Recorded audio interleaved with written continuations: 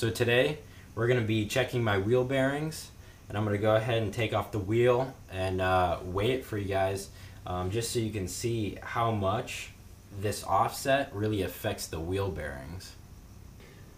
So first we're going to go ahead and lift up the car and I'll uh, we'll check the wheel bearings real quick. Now that we have the car jacked up, um, since this is the front wheel and there's going to be play side to side from the steering, we can go ahead and test it by going up and down. And as you can see, there is no play whatsoever. So for as long as I've had these wheels, it hasn't affected these wheel bearings at all. We're to go ahead and take these wheels off and uh, weigh them just to show that, you know, even a big offset and how for how much these wheels weigh that it, it really isn't affecting the wheel bearings all that much.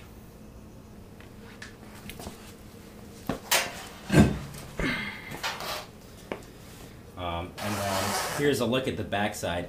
I mean, it shows that there's really not a whole lot of lip on the other side of the wheel.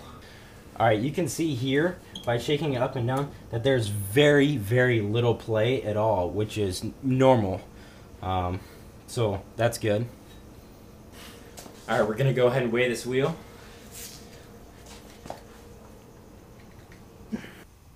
Fifty-two point one pounds. That's a lot of weight.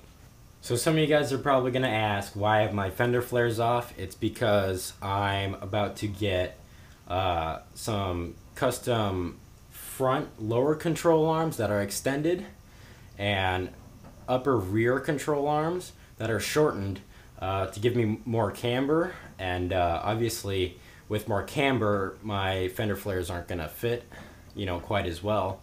Um, and so now after I do that I'm gonna be making my you know final fender flares.